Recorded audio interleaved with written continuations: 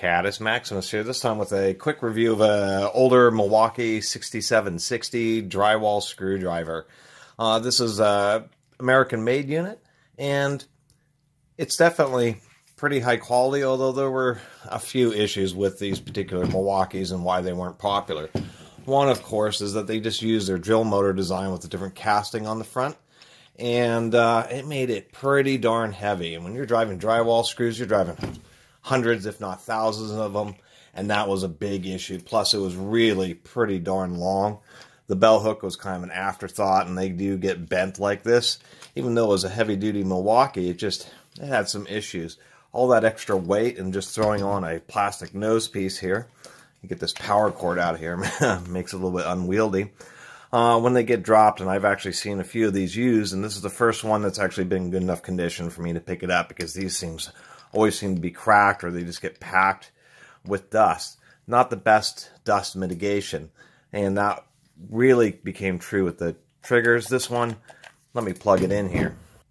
This is when they started, they had the idea of having a quick, easy to change cord if the cord got damaged or worn out, which generally was okay, except for the fact that Milwaukee was charging like 30 bucks for these cords, which always sucked. So people really disliked standard cords part of the issues of the dust mitigation is they didn't, you know, improve the trigger or anything. So this trigger here, we can see I can move it quite a bit and just the whole potentiometer that's in it is just totally worn out from drywall dust and doesn't even engage till almost halfway. But it does still operate properly. So anyway, it wasn't, you know, it's a good drywall screwdriver, but it just definitely one of, wasn't one of Milwaukee's best showings. And the biggest issue is just that weight. And even if you try to hold it like this, it's just, I mean, it's crazy. This thing's like almost a foot long from the nose to the back. And it just was a miss. It's 2,500 RPM with a 5 amp motor, so it has plenty of power. But modern ones are 4,000 RPM. They run a lot faster. And they're more compact and a lot lighter weight. That's a, you know, the big differences. I did want to point out a quick tip for setting the depth on these. You can drive a few screws to kind of get them going, but the best thing is to actually push a screw in and find where the clutch is not going to engage right here. That's where it's the teeth are on top of each other in the clutch.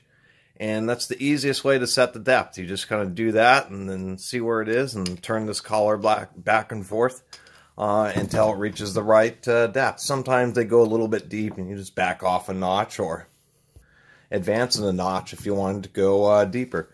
And this one does have a little arrow here. The aluminum nose is getting kind of beat up, but generally it seems to be okay. Let's give this a quick test, and then I'll just do a quick little teardown.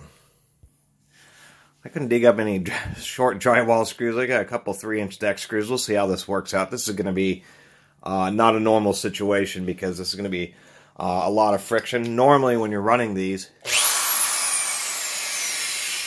this is pretty loud.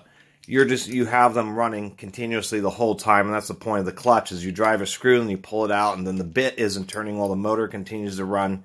You have a handful of screws that are all lined up, and you'll put it in, and you'll just drive one screw in, pull it out, get the next screw going, drive it in. Can get a, quite a few screws done pretty quickly. So I'm going to kind of hand start this one.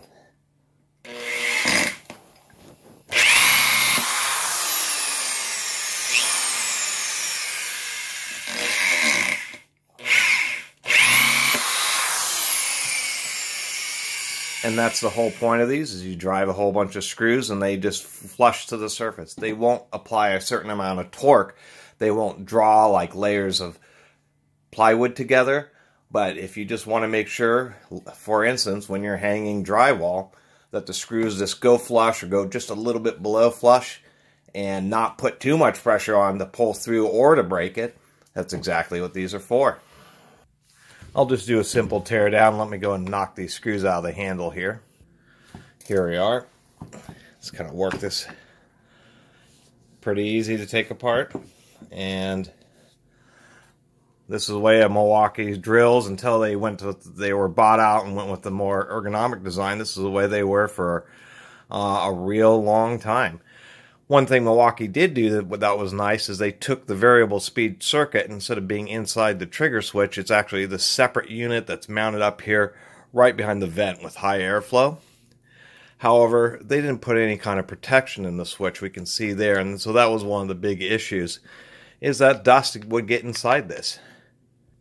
And even though this is an older American made unit, uh, they were, this was still the beginning when Milwaukee was cheaping out. We can see the motor here. It just doesn't have the, you know, has some decent varnishing on the windings, but there's no wrapping. We can see that it uses pinched instead of uh, stamp welded contacts. So really not the as good as they used to be, but still definitely heavy duty build quality.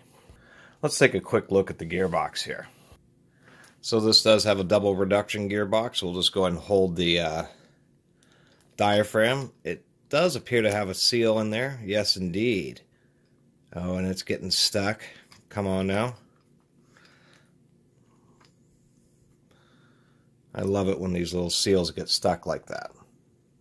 I'm going to go ahead and use a small screwdriver and just nice and gently go along here and just try to get this seal off of the front part of the gearbox because it's actually a thinner piece portion of metal that it's attached to versus there we go the the diaphragm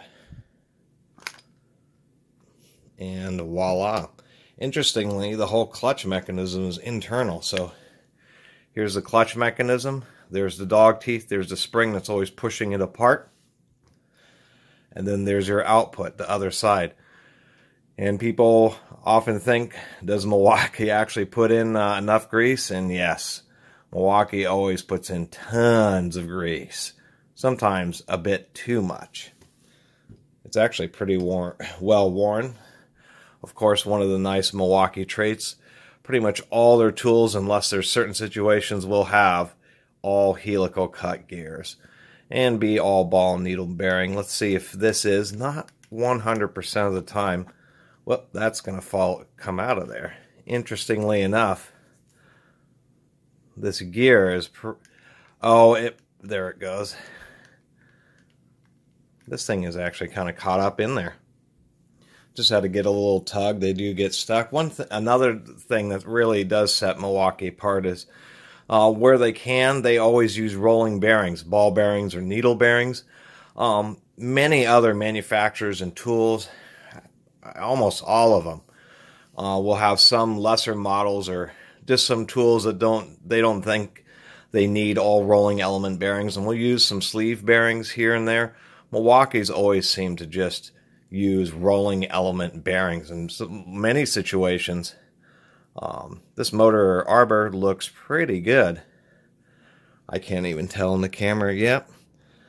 One nice thing about that is they do balance the size of their arbors pretty well on Milwaukee's. All tools, the arbors will wear out eventually, but at least this one looks pretty decent.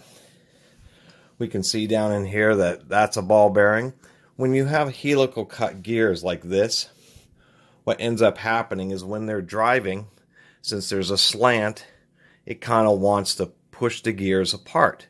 And so what Milwaukee does is use ball bearings so that it provides both smooth running when for the lateral forces, the gears trying to push themselves apart, as well as the thrust forces, which are the gears trying to slide apart. Now on this gear, we have a thrust washer. So on one side it's a ball bearing, and on the other side it's a thrust washer because really the forces are more this way than they are this way, and this would only come into play when it's being reversed, which is something you uh, don't do very often on the tool. So that's the one compromise Milwaukee does. And something to be generally aware of. If you have a drill that you're running in reverse, it can wear out faster than if it's running in forward.